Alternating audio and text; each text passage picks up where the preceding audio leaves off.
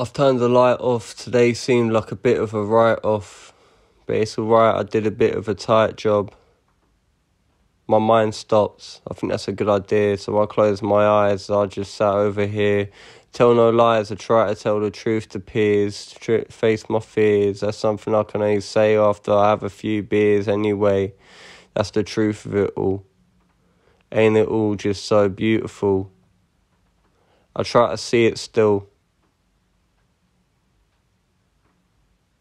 When we take a seat upon the hill and we just simply chill, we just simply sit, half reminisce. I think that's what the premise is, half primitive, the other half of it.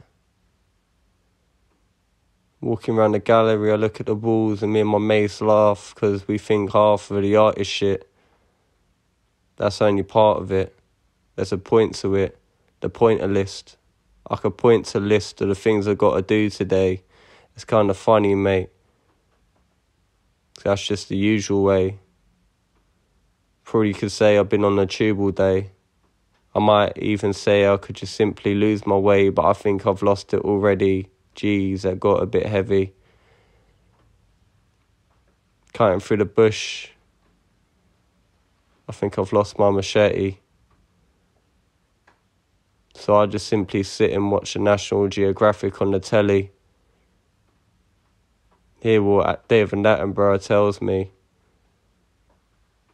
Now I feel like my mind's got a little bit more healthy. It's a blue planet though.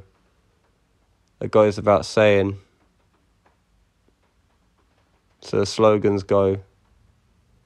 I started listening to the advertisement sayings.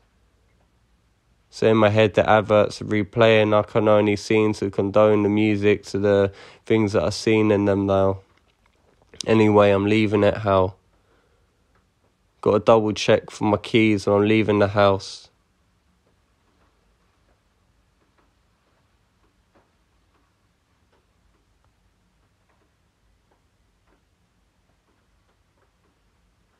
The sweet little mouse.